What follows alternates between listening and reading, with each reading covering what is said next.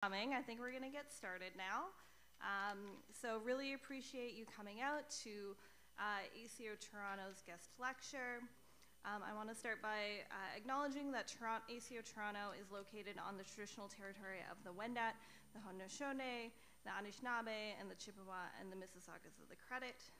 Um, today, Toronto is host to many First Nations, Métis, and Inuit peoples, uh, and Toronto is within the territory of the Dish with One Spoon Treaty, which requires responsibility of those who use the land to share it peacefully and care for it.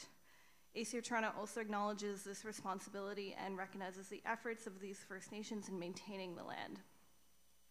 Um, so tonight's event, uh, I believe, is our first in-person lecture uh, since pre-pandemic, so really nice to see uh, some familiar faces as well as some new ones. Welcome.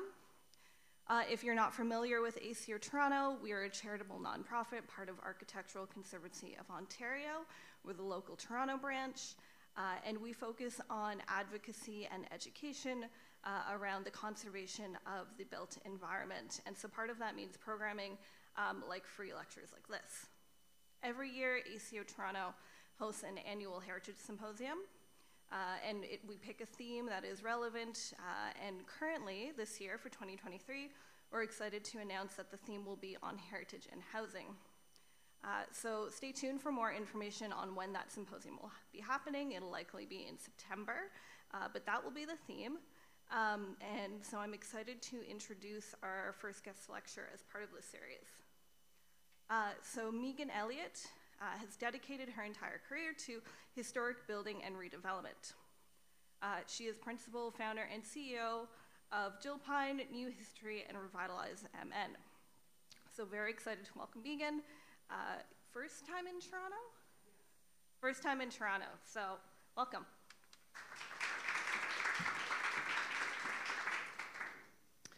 So I should start by saying I think that this is my first international speaking gig and so I wanted to say thank you for Stephanie for making this happen. Thank you to ACO Toronto for inviting me, and I didn't realize this was your first event back in person, so I'm super honored to be uh, to have the um, to be here tonight with you all. I thought that I would start by telling you a little bit more about myself and how this project plays into my own career. So on this screen behind me, you'll see the the entities that I've, I've started and continue to lead in my career.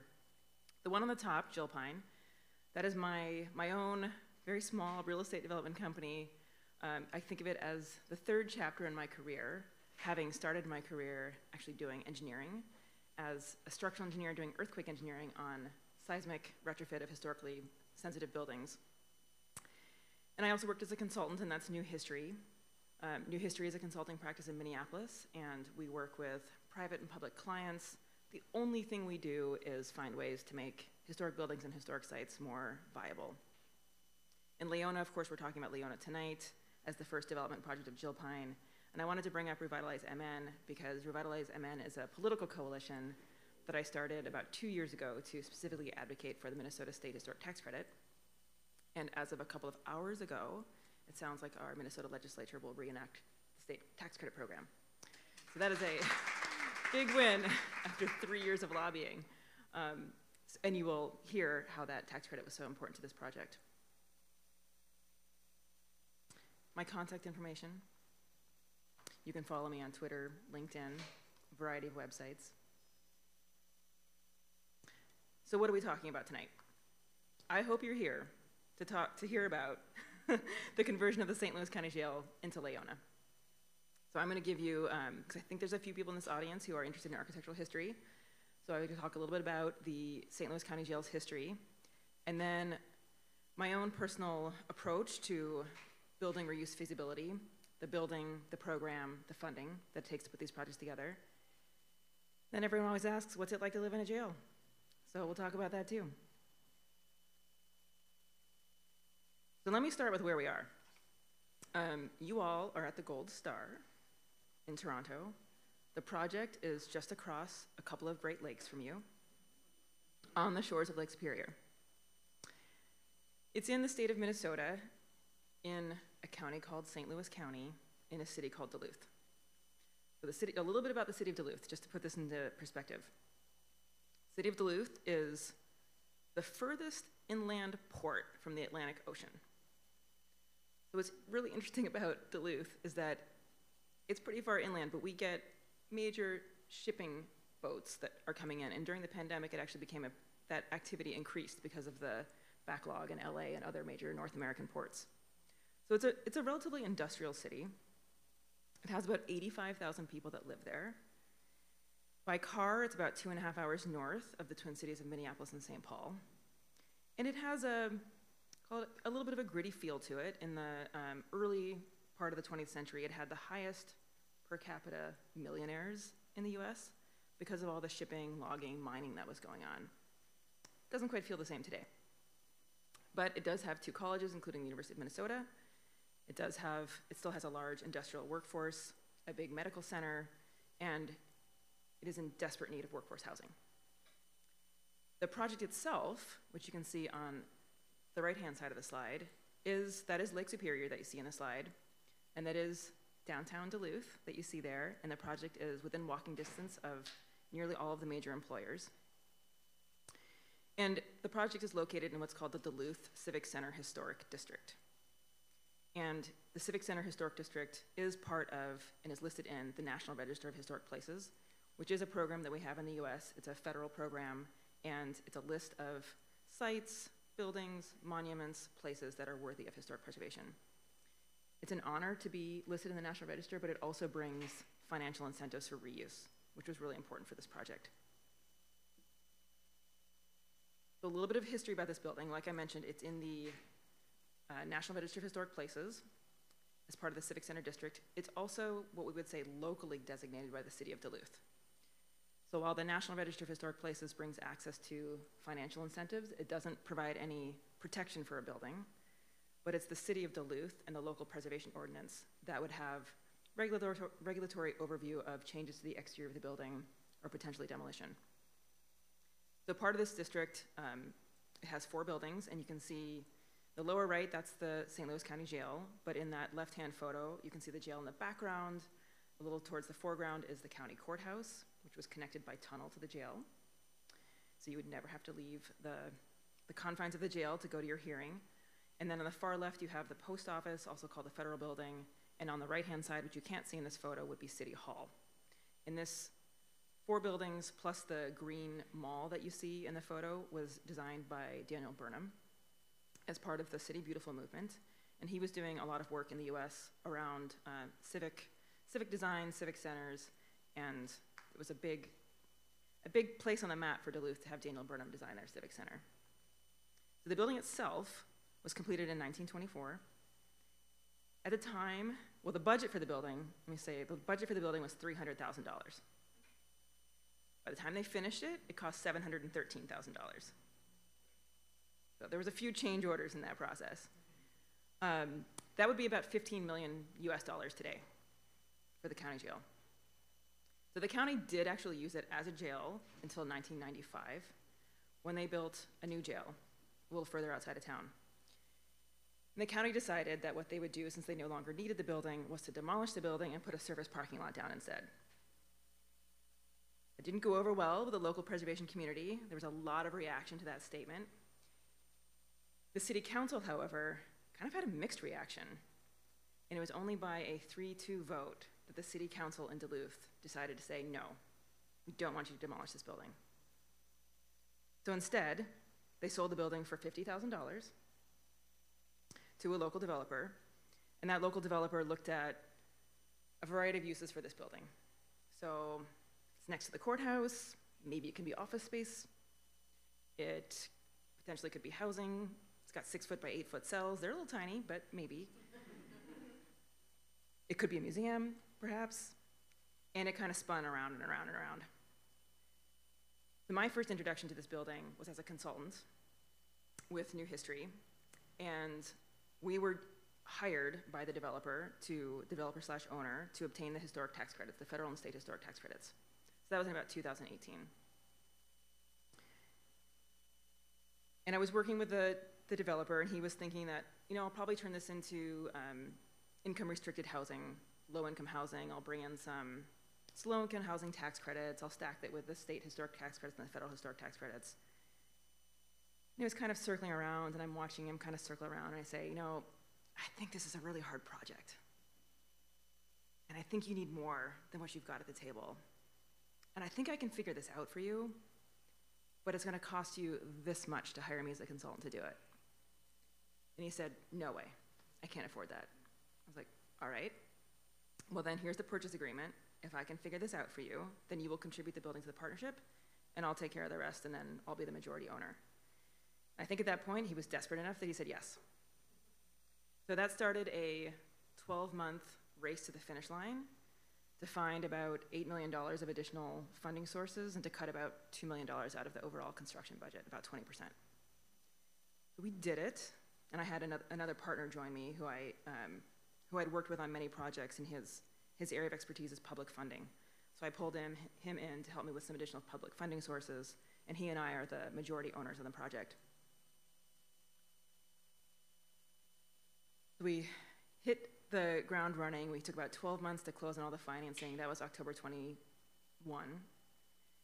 Because of some of the funding tools we had in the project, we had to place the building in service no later than December 31st, 2022, or we would lose about $2 million in state historic tax credits. We got our certificate of occupancy on December 27th, at 4 o'clock in the afternoon. So it was, there were many, let me just say, there were many sleepless nights on this project. Today, it's, uh, it's open, open January 1, it's leasing up. We have about, we still have some units left if anyone needs an apartment in Duluth. So how do we get to that project? Um, this is my, this is how I think about building reuse feasibility, and I share this with many of my clients who come to me at New History. And I share this with them because I think that building reuse is dramatically different than new construction. And with building reuse, we have to start with understanding the building and what we're working with.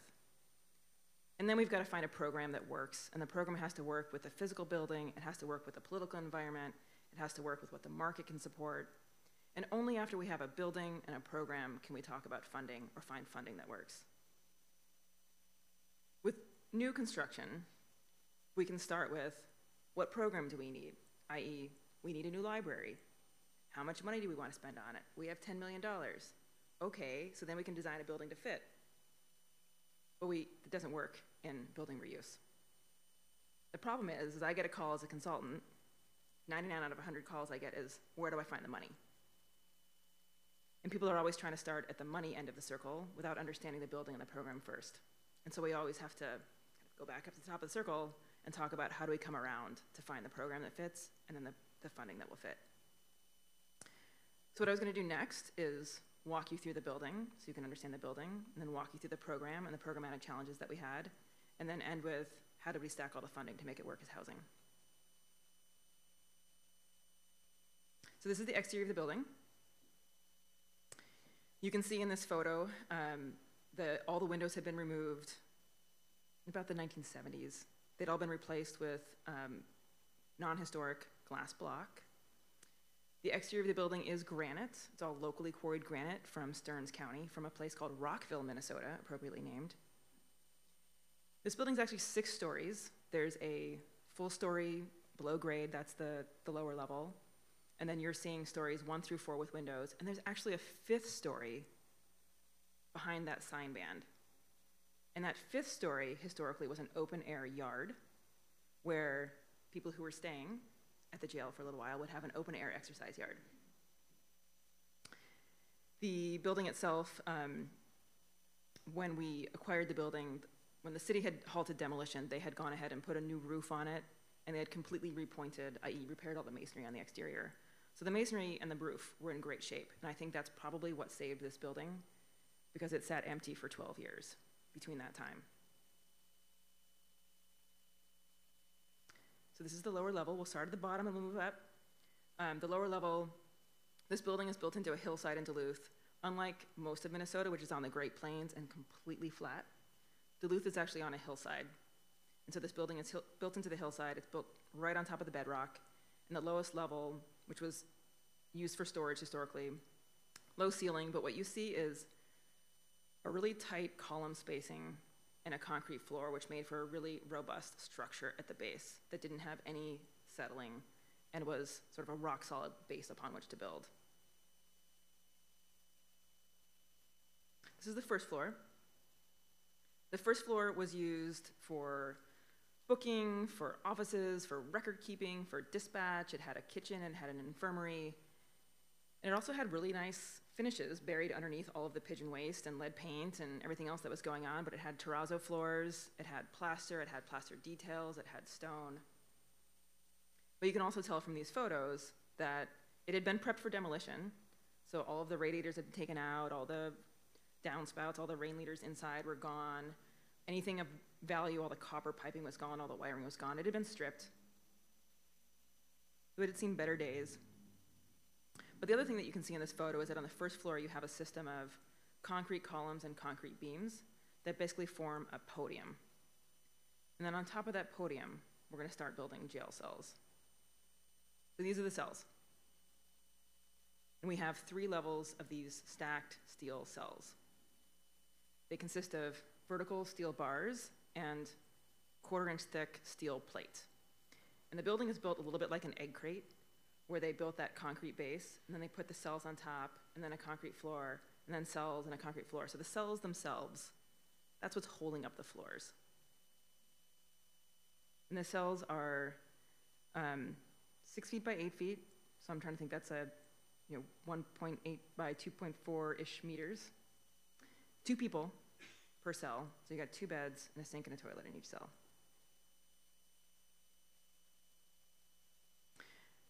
The fourth floor was really, um, I'll just say it was really depressing. The fourth floor had what they called the dark and quiet cells. And so what you're seeing are these dark and quiet cells that had no light. They just had these like little tiny windows, which always, it, it's, still, it's still creepy for me to think about these cells. Also strange because this is a county jail. Like you don't, you don't get incarcerated in a jail. You get picked up for drunk driving or, or streaking or whatever you're doing, and you go to the jail for a couple of days. So the average stay in this jail, when, and we talked with the sheriff about this, who during construction, the sheriff who worked in this jail came and signed his name inside the building. Um, he said the average stay here would be about three weeks while you're waiting for your trial. So you wouldn't spend a lot of time here. But the fourth floor had these dark, dark and quiet cells. And then the fifth floor, which had been an open air yard at one point, they had in the late 70s, early 80s, they'd put a lid on it and enclose the space and then turn it into classrooms and a fitness center, things like that. But it didn't have any windows because it's behind that sign band.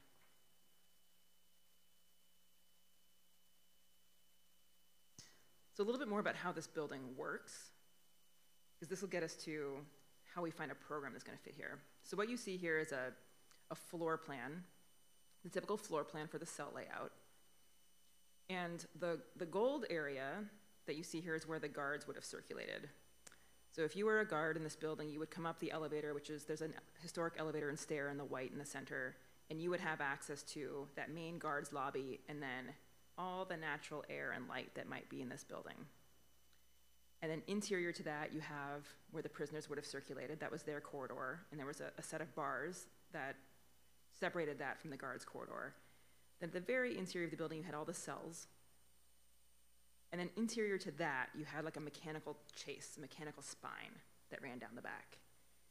And that mechanical spine had the, the power, the water, the drains, the ventilation. That was a, you know, a shaft, essentially a horizontal shaft. So you have like one vertical shaft in the middle that had the elevator and the stairs, and then one long horizontal shaft on each floor that was servicing all the utilities to the cells. 93 cells in the building. Now you understand the building. I'm gonna like shift gears and come around the circle a little bit to like how do we fit a program in here? Because those teeny tiny cells that support the building are really hard to work with. And I also want to talk, I'm going to like take a little bit of a, a side note here. Um, because part of the reason we were working through this program, like what's going to fit in this building, is because the program that we were selecting was going to have such a dramatic impact on the types of funding sources that we were using. So what I'm showing you on the right-hand side of this slide is a generic project cost. And for building reuse, our project costs are made up of primarily three things. The acquisition of the building, the soft costs, which are architectural fees, engineering fees, permit fees, all of the, the softer fees that go into the project, environmental, et cetera. And then the hard costs are what we're actually gonna pay for construction. The problem with historic building reuse is that after you spend all the money to reuse the building, the market value is usually at the top of that brown line, meaning it's never going to have the market value at the end as what you just put in to retrofit that building. So there's always a gap. And so a lot of what we're doing is trying to figure out how to fill that gap.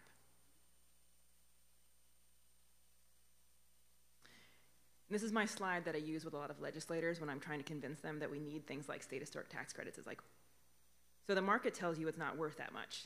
Why would you do it? I mean, that's got to be an obvious question, right? If, it's, if it costs so much, why would you bother reusing this building? I mean, the county said just put a surface parking lot there. So on the far right of the, si- of the slide, you see why you would do it. You do it because the market doesn't recognize all the value that these buildings can provide to the community, because these values, these buildings do provide things like jobs. There's far more jobs created in these projects than materials that are used, which leads to environmental sustainability. You can never, no matter how energy efficient your new building is, you can never replace all of the materials you just threw in the landfill. Of course, we're talking about historic preservation and heritage retention in these buildings, economic development, the domino effect that happens once you put one of these buildings back in service and you see the kind of trickle down effect down the rest of the block. That's why we're doing it. And so in the middle in that red column, you know, how we how we offset that gap between the market value and the total cost is we use public sources, and I'm going to talk through some of the public sources that were used on this project. And in the US, I know I, I've learned from Stephanie that there's not a, a corollary here for historic tax credits. But in the United States, the federal and state historic tax credits are an extremely powerful tool for incentivizing building reuse.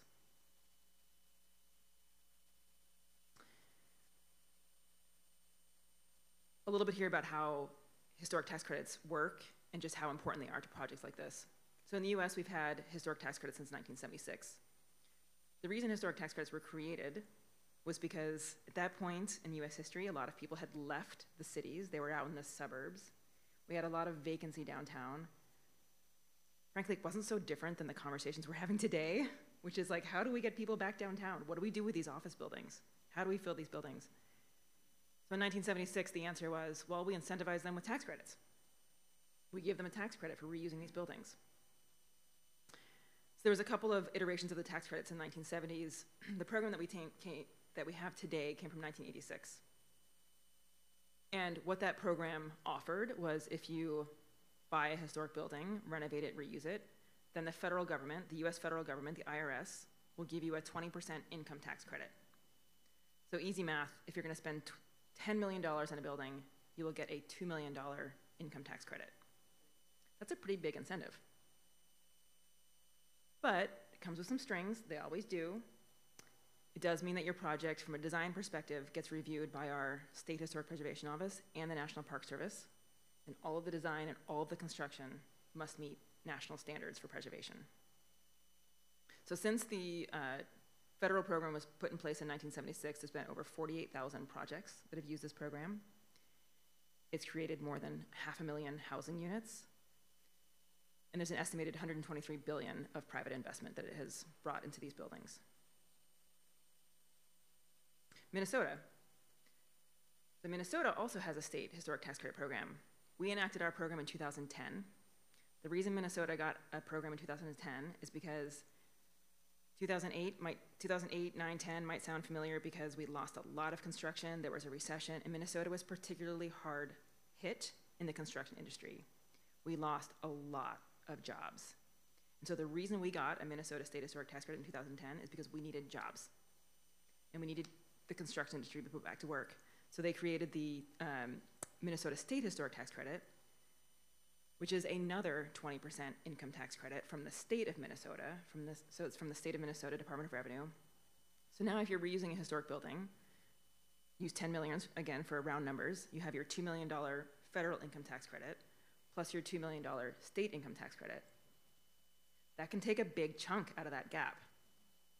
and it makes a lot of projects happen. So in Minnesota, since our program was enacted in 2010, I think we've had something like 178 projects. It generates a 10 to 1 return economic activity in the state of Minnesota. For every dollar of state income tax credit that's given out, there's $10 of economic activity generated.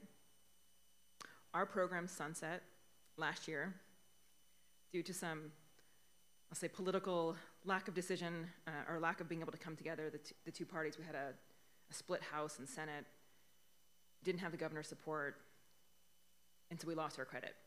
This year, as of today, it looks like we'll get it back. So that's a, that's a big win for us because the construction industry in Minnesota, and particularly historic buildings, have pretty much all but halted at this point as people wait to see if this program comes back.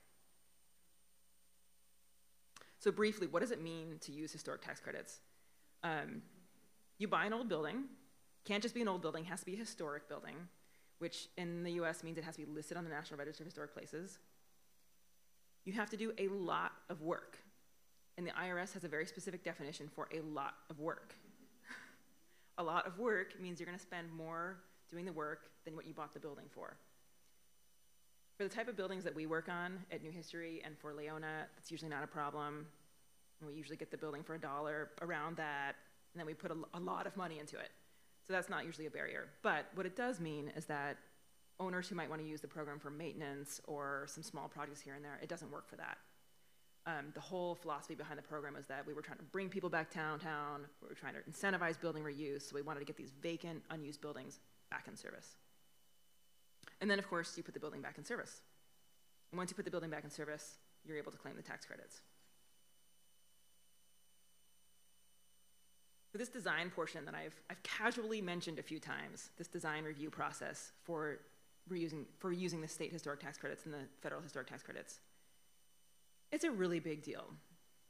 Because what the design standards say, the whole purpose, or I should say the, the premise of the National Park Service is that if you want to use this money, then you need to show us and make us feel comfortable that you're going to retain the historic character of the building.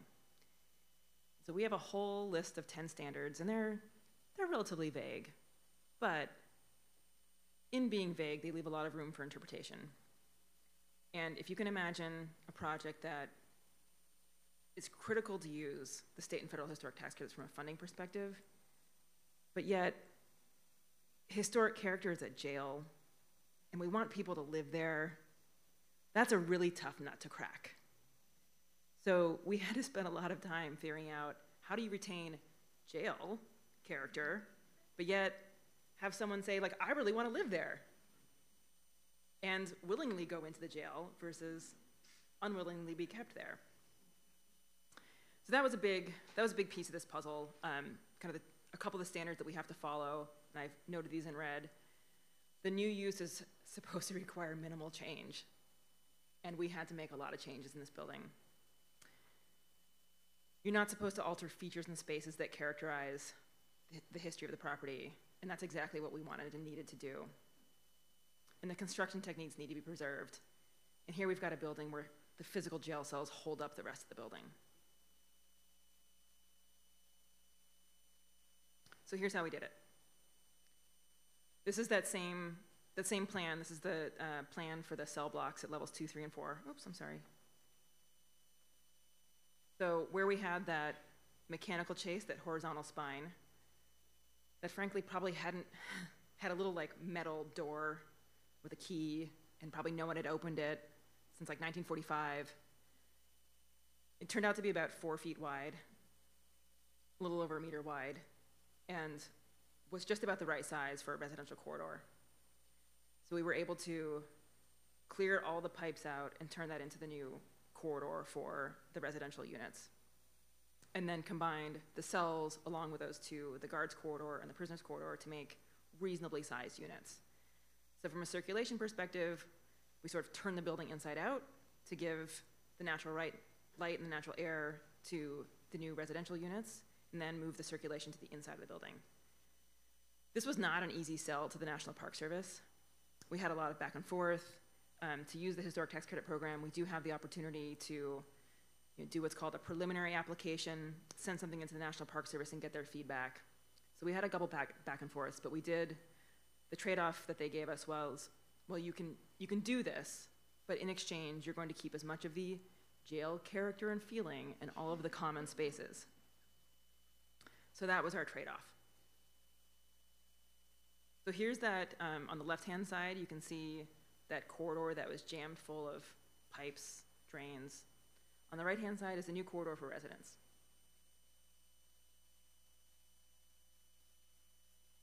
I mentioned that the structure holds up the floors above. So on the left-hand side, you can see removing the bars. From a construction sequence perspective, every time we removed a set of bars, vertical set of bars, or a steel wall, first we had to put in a channel or a column to replace it. So we had to thread in all of the new structure, essentially by hand, carrying the steel in through up the stairs to get all the new structure in place before we could start demoing the old structure. And essentially, the, the building, the only way to do this is really by hand, just given the tight quarters. So you're essentially using like sheer people power to cut the bars and remove them. And some of them went out, just got tossed out the window. And in the end, we did end up keeping a lot of the bars. You can see this is a typical unit. This is a studio efficiency unit because those bars are structure. So every time we took one out, we'd have to put new steel in. Um, overall, the building was built with about 250 tons of steel. We removed about 200 tons of steel. The other uh, big piece of this puzzle was the mechanical systems for the building. So there was about a one and a half to two million dollar savings by moving from a forced air ducted system to using natural ventilation. So we did make the decision as owners and developers that we're on Lake Superior. Duluth is a really cold place to live, so maybe we can get away without air conditioning. So we removed the air conditioning from the project entirely and switched to a system of natural ventilation. The windows themselves are, the architects in the room will, will understand this, they're too, they're too low. So if we were to remove all of the bars, we'd have to have a, a, a closure device that wouldn't allow you to open the window all the way for fear of falling out. So the compromise in the solution was to keep the lowest rung of bars that's shown there in red, and that now the, the city building code official accepted that as the windowsill height was the top of that lowest rung of bars. So now we've kept those lowest rung of bars, which allows us to, in our residence, I should say, can open the windows all the way up and get in all the air from Lake Superior. And that had a dramatic impact on cost, as well as ductwork. So we, we no longer have, there's really no ductwork in this, in this building because we're moving, we're heating the building with uh, radiant water. So just running pipes through the building to radiators. So here's an example of how those windows looked before on the left with the full height bars, then on the right, you can see how you have the lowest rung of the bars kept in place to be the new windowsill, and then the fully operable windows.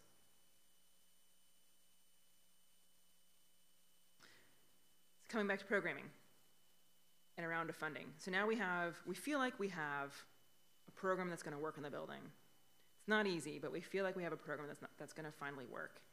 And we've been iterating between program and funding this whole time because we're going to have to find public funding sources that are going to be able to support this project. On the left-hand side, you see all of our costs. It adds up to about $11.1 million for this project. On the right-hand side, you see our stack of sources, meaning all the different funding sources we're going to bring to this project. And that arrow that's really low on the page is the market value for when this project's completed. So we're not Toronto and Duluth and rents are a lot lower. So the value of the building when it's completed was so much less than what you all would see here in Toronto that we had the, estimated market value when complete was about $4 million. The difference between $4 million, meaning that's what, that's what a banker would lend you, would be up to $4 million. I'm looking at Bill here. We have a $7 million gap we have to fill. And how we're going to fill that gap is the state and federal historic tax credits, and you can see how big that impact was. So big that it was actually more than our, our first mortgage. Tax increment financing, which I don't know if you have tax increment financing here, but it's basically, uh, philosophically, it's, it's borrowing against the future property tax increment that you've created to use today to do the project. So the city of Duluth uh, we were able to do a tax increment financing district, a TIF district, and use tax increment financing for the project, which generated about another million dollars. In that black space, we're just stacking as many grants as we can find. So we have a grant from the Department of Employment and Economic Development in Minnesota. We have revolving loan funds from the US EPA to do some of the cleanup. We're using something called American Rescue Plan Act money. So American Rescue Plan Act was part of the federal administration's response to the pandemic, and it was money that was directly appropriated by the US Congress to the states, the states to the cities, and then the cities could deploy that funding as they saw best. And Duluth decided that the best use for that funding was housing. So we were able to access some of that. And then we had a couple of historic grants from the Historical Society. And all of that added up to the $11.1 million that we needed to do the project. A little bit about public funding sources. So for historic buildings, for the type of work that we do at New History, for projects like Leijona, for housing, historic buildings work really well to meet public policy needs and goals. And that's why we're able to use public sources. So in order to access public sources, we're looking for how we can align the real estate with what a city, county, state needs. And I've highlighted a couple here. On the, on the left is just is, a is the sources that we use on Leijona, for example, and on the right were the policy goals they were able, we were able to satisfy. And the two biggest ones, of course, were housing affordability because this is a mixed income project. So of the 33 units, we had 14 are at specific income restricted levels. And then, of course, we're doing historic building reuse as another big policy goal.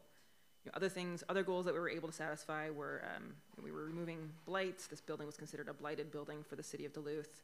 We had to meet specific workforce goals. So with these projects, um, with Leijona, we essentially used union labor, almost 100% union labor, almost 100% local union labor. And that was some of the stipulations of some of the funding sources we were using. We did end up, um, we weren't, we didn't think we were going to do this, but we did find out that the stormwater had not been separated from the sanitary system. And in the US, since about the 1970s, that's been a requirement to separate the, the sanitary and the storm systems from the building. So that was a mid-project surprise that that hadn't been done yet. We did a lot of lead paint remediation. So all of those, every single surface in that building had been painted multiple times with lead paint, which was, made it a real challenge for removing the steel, because every time that you want to cut through a piece of steel, you have to completely remove the lead paint so that it doesn't get um, airborne. Usually it's not a problem, like the lead is heavy, so it usually just falls to the ground. But if you're heating it and cutting through it, that causes a different problem with lead. So there was a lot more lead paint remediation than we had planned for. And of course, we're modernizing to meet um, modern building code requirements. So I get a lot of questions. What's it like to live in a jail? Um, this was something we really struggled with in terms of convincing people that living in a jail would be acceptable, especially, I'll say right now in Minneapolis, we are, we are the epicenter of George Floyd. And we still have really challenging conversations about civic justice and equity and what these spaces mean and what it means to be incarcerated. And, and we're a jail, so we don't get incarcerated here, but it still has a lot of this social challenge around it. It's a building that's never been inviting, it's a building that's never been open to the public. So we spent a lot of time thinking about how do we make this, how do we give this building a new life, a new space in the community, and how do we make it um, a public asset instead of essentially a public nuisance. We did work with a, um, a local Minneapolis-based branding agency named Fellow to think through how we're going to, we're not gonna call this the St. Louis County Jail anymore. We're gonna call it something else. We decided to call it Leijona. The reason we decided to call it Leijona is, uh, I should have pointed out in the image of the exterior, I had a red circle around the, the lions that are carved in the granite in the building. And throughout the civic district in Duluth, there's a number of lions that are carved in the buildings. And so we picked Leijona because it's the Finnish word for lion, and Duluth has a, a very deep Finnish history. So it's the the word for lion, it has a, a much softer sound to it than jail. And we played around with how do we represent Leijona in different, different block patterns to look like the masonry on the exterior of the building. And we picked some colors that brought in new life into the building. Because when most of the color, I will say the first, I'm not an architect by training. But I remember having the conversation with the architect about what the interior should be. And of course, the first thing I get is this palette of white and grays because that's kind of like what everyone wants these days. Like, are you kidding me? White and gray in a former jail? There's no way we can have people live in white and gray. So we did, uh, we did come up with a new color palette to use in the building, and this is all based on the historic terrazzo on the first floor. So we pulled the colors from the historic terrazzo and came up with a color palette that we use in all of our social media, all of our printed materials, all of our interior paint colors to try to give it a different feel to the building. So here we are today. This is the new lobby. And you can see the, or I should say not the new lobby, it's the restored lobby.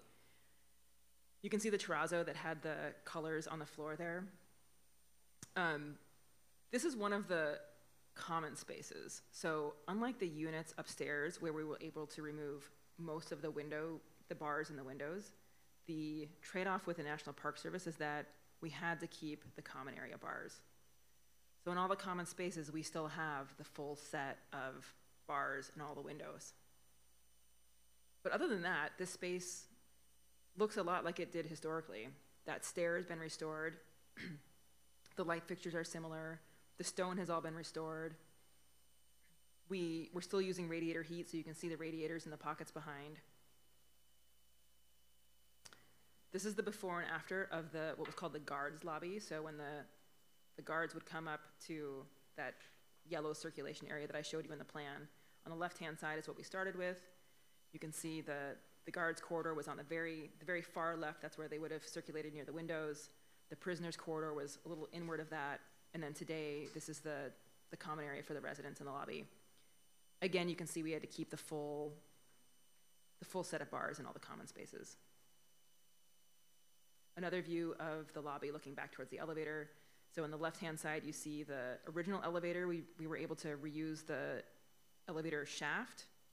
We had to get a custom elevator built to fit the shaft, and we had to work with the um, city building code official to, the elevator is smaller than code would have required, but it fits within that existing shaft.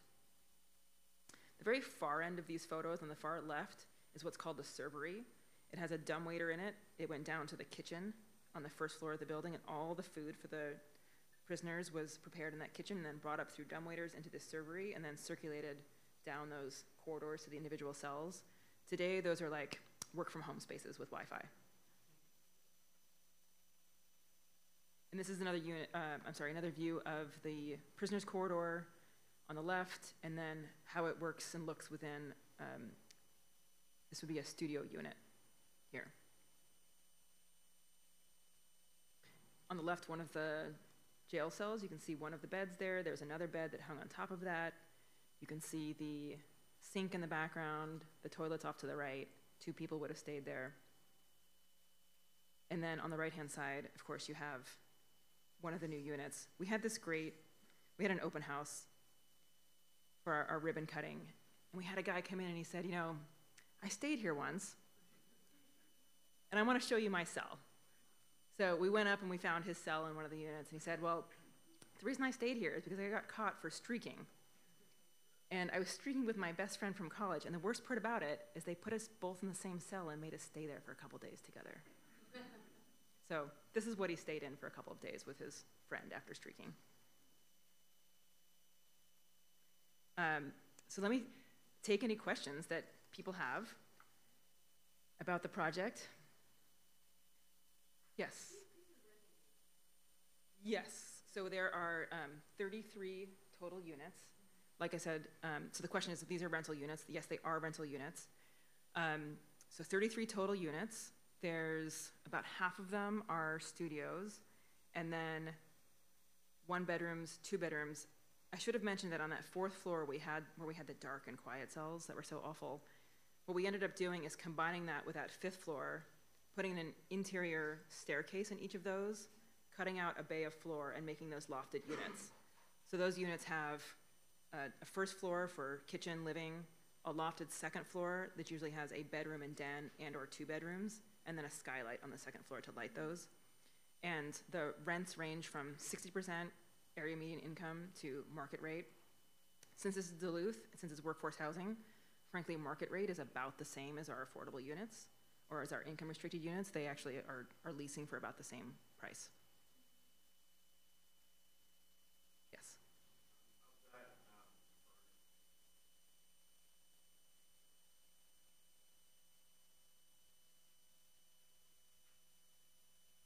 Yeah, it actually looks um, substantially the same. So we had four buildings. We had the, the jail, which is what you just saw, now Leijona.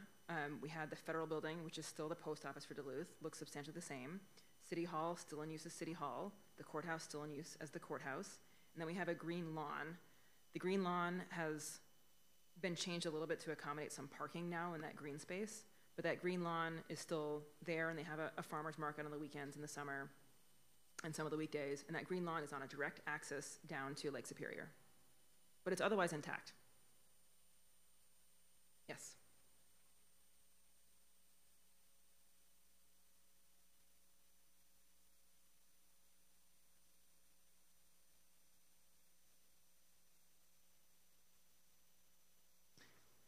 So the question is, can I speculate on the cost of building units new?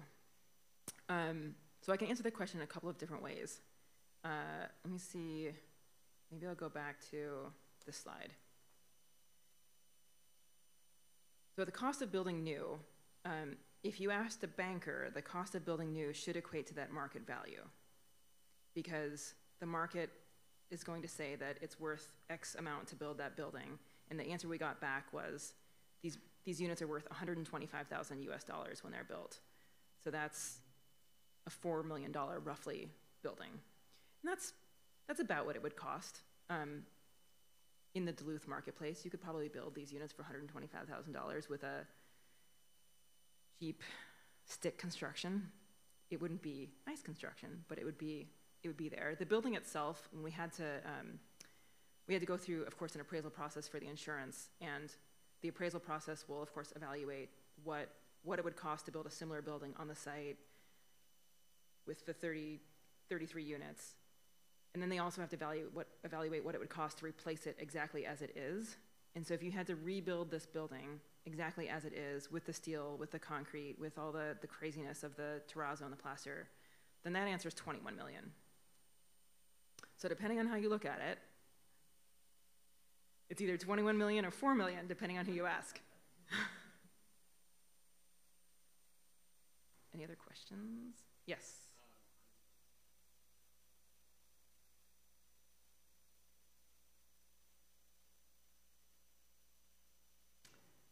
Yes, so um, I'm going to scroll back to the Duluth Civic Center. Bear with me here.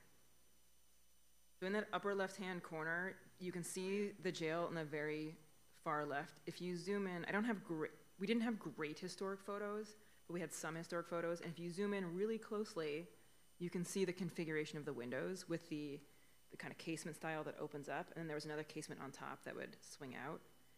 So we did replicate those exactly in configuration and operability. And then the we had to make our best guess at the color. The color looked like it was similar to the stone, so we picked a color that was similar and compatible with the stone. I saw some questions in the back. I don't know.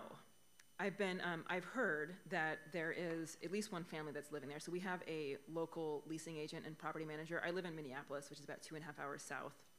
Um, I don't, to be honest, I don't expect a lot of children or families to live in the building because there's not, there's not a lot of green space on site. There's some green space on site, and we are in the process of, of building a dog run on the back of the building because we do have a lot of pets in the building but I have not heard a lot of family interest in the building, and we are expecting that we'll get more demographic of, we have a number of students that live there, especially in the income, income restricted units, and we get a number of um, singles and couples who live there, but we have not had, and I don't expect to have, a lot of family interest. Yes?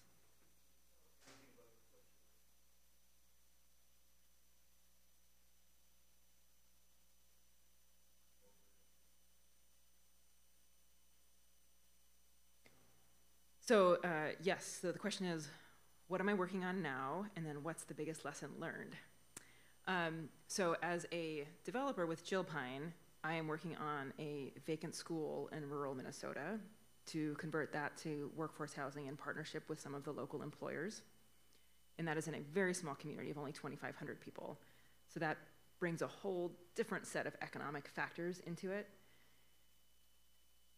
That's the, that's the next project.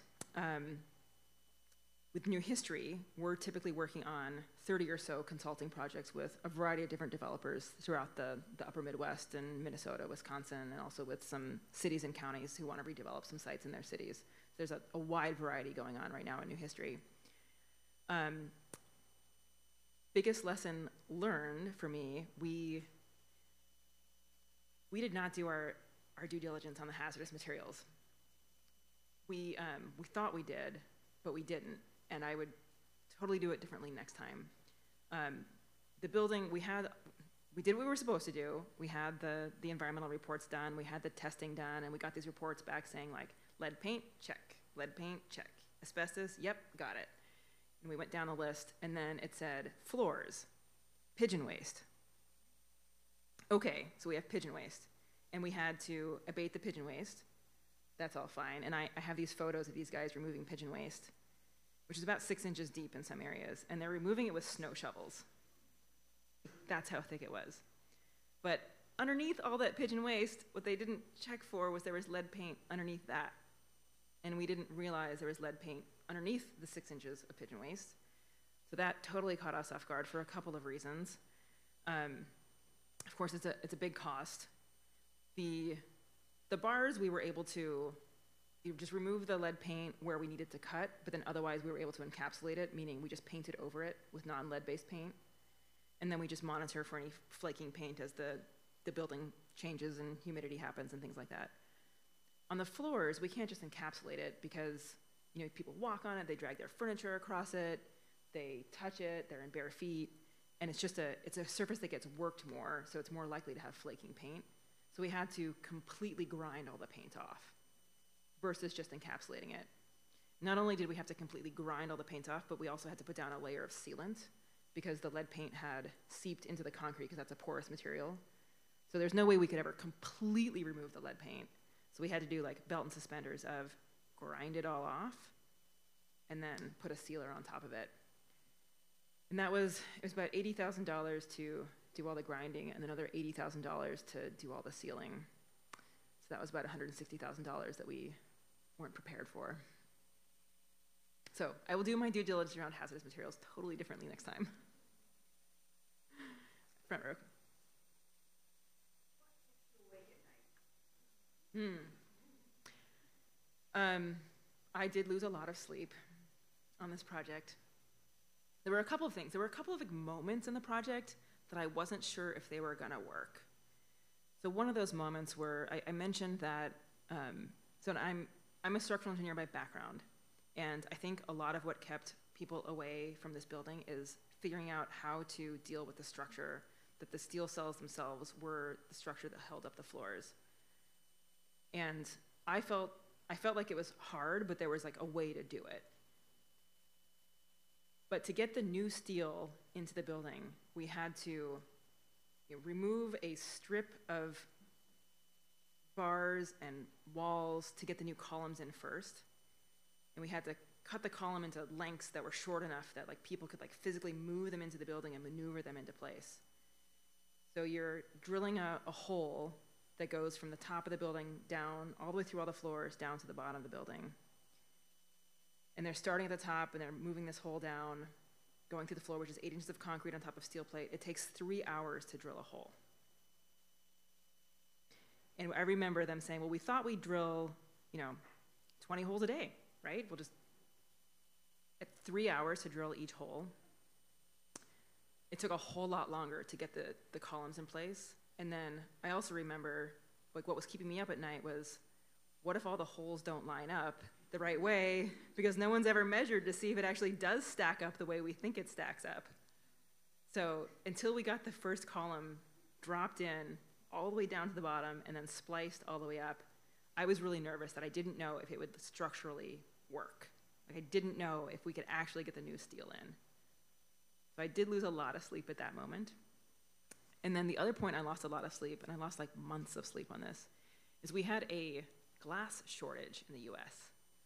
I don't know if this hit anyone else, but it hit us really hard. We, this is Duluth, so there's only about three nice days in Duluth, and the rest of the time it's winter. Um, so we had like a very narrow window within which we could take out all the glass block and put in the new windows when it would be warm enough. The windows are supposed to arrive in July. And we kept calling the window manufacturer saying, like, they're going to be on a train, right? They're going to be here July 15th. We got to get them in there. We've taken all the glass block out. We're ready for the windows. And they kept saying, yep, they're going to be there. Yep, they're going to be there. And then, like, July 12th, they call and say, we don't have any glass. That was like just a heart stopping moment. And then we, we started calling all the glass manufacturers across the whole country to see if we could find any glass from anyone that we could pay whatever amount it would take to get this glass. And in the end of the day, we ended up working with our um, the same glass, the same window manufacturing company. They were able to get it. We got the windows in November. So we had to build temporary enclosure for the building. So we had to build a whole series of plastic windows to fill that opening, and then run a bunch of just propane heaters where people were working just to keep them warm enough as the temperature was dropping. So the steel columns and the windows were what kept me up. Question there.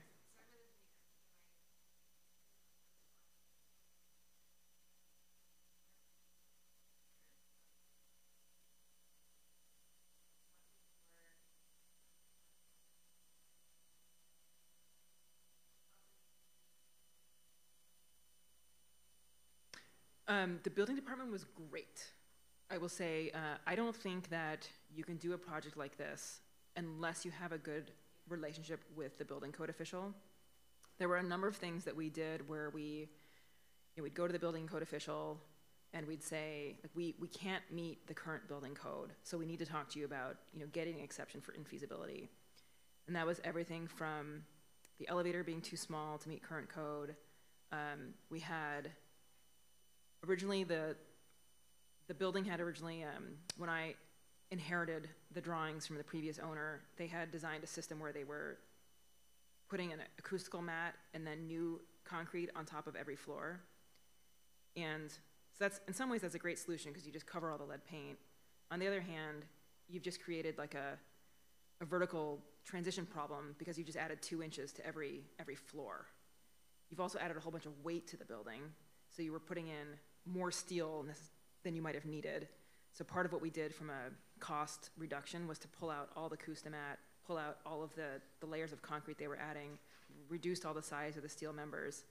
But the only way that we were able to do that was to get the building code official to say, well, if you remove, remove that Acoustomat and you remove that layer of concrete, we don't know that you're going to have the acoustical separation between floors that you're supposed to have to meet residential code. And so they, they gave us a waiver on that. And we don't to the letter of the law, we don't meet the acoustical separation requirements between units with just the, the concrete and the steel. So there were many, many times like that where we had to literally go talk to the building code official and say, this is, this is what we found in construction, we can't get there, can you work with us? And they actually, they, they came to the table every time and found a solution for us.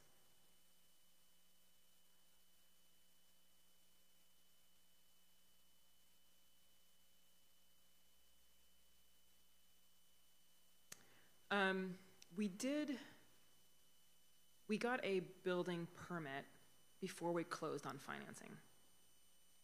And we, so in order to get a building permit, we had to have a lot of those conversations. And I wouldn't have closed on financing, and frankly, the bank wouldn't have given me the loan if we hadn't had the building permit in hand.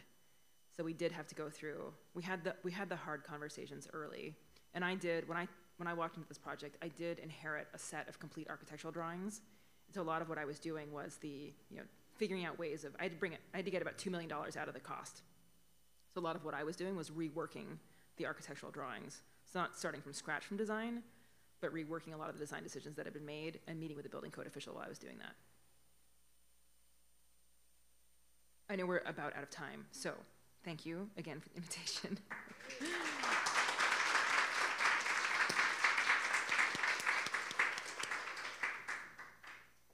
So much, Meghan. That was really wonderful, really interesting. Uh, you have, I'm going to go to the maybe the last slide or first slide. You had contact information there, so if you have more questions for Meghan, uh, please let her know. Really appreciate her time. We were at the ULI conference all day today, so that was a great presentation after being busy all day.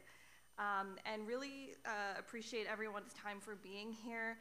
Uh, ACO Toronto, we're a nonprofit, so the only way we're able to offer this sort of free programming uh, is through things like membership and donations. So if you're not uh, a member or um, if you're interested in learning more about what we do, please check out our website or at the desk back there, uh, and you can learn more about becoming uh, a member. So thank you, everyone.